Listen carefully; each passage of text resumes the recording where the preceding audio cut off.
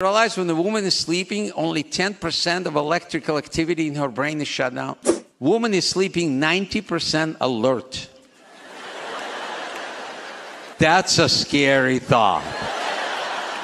But it's designed by nature, so in the middle of the night she can hear what? The baby crying. Do you realize that only female voices just now answer that question? Man, we don't even know. No, we know that there's short people live in the house.